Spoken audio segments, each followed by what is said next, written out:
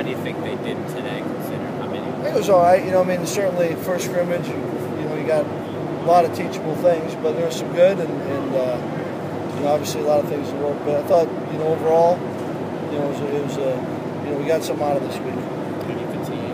See any fatigue at the end of the I don't know. You know, I mean, uh, I'm sure there's a little bit, but you know, we went pretty good. You know, we got a good number of plays today, and the guys, guys went pretty. You know, it was pretty good. So I don't know. What do you look for uh, in a scrimmage that maybe you wouldn't see elsewhere in practice? Well, I think consistency, you know, of play, right? I mean, that's what you're. But uh, if you're practicing right, it shouldn't be a lot of things different. More energy overall. Rock paper scissors. Go ahead, Chris.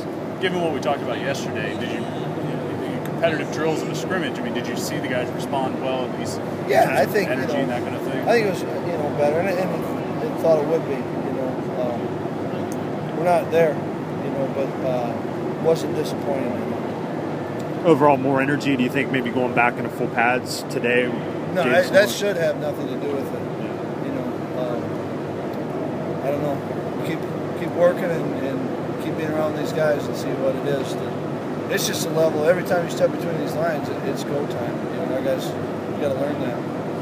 I think today maybe you had an interception, a, a bad snap, and maybe one fumble. Have you eh, generally clean? I mean, I feel like it was generally clean. Yeah, there was a point in the you know scrimmage was thinking you know then I think right after that's when Gonzo stripped the ball. It was a nice play by Gonzo. Had the the bad uh, the shotgun snap and then uh, then the last play was a pick right, which you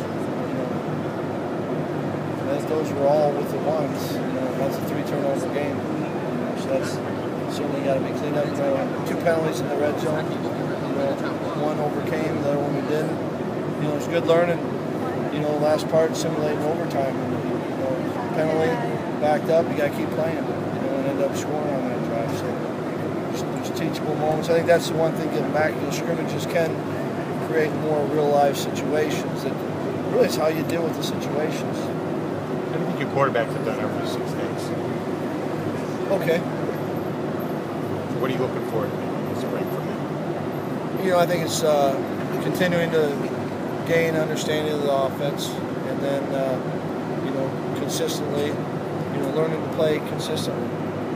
Malcolm had some nice runs tonight. I guess Russell had a good point or something. They got I don't some know about extra. that, but They got some extra rounds. yeah, How I thought I think they thought look? Croc ran ran hard, and uh, you know he had a couple holes that were pretty nice to run through, but I thought he did do a good job of running.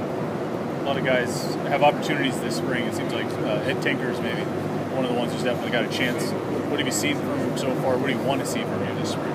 you know, uh, Tanks, you know, he, he- he's, he's flashed on some things, and, and those are so tricky, you know, when, especially on a scrimmage day, you know, when does the ball come your way, you know, and, and uh, you know, he had the first holding penalty, um, but, you know, it's, it's over the course of, spring, that, but he's got to put himself, every guy's got to put themselves in position to, to be able to, you know, define themselves as a contributor, you know, and then I think in fall camps when you have to worry about your starters, but can can this guy help? Is he ready to help us? And, you know, I think Tink's that's that's what Tink's got to do this spring.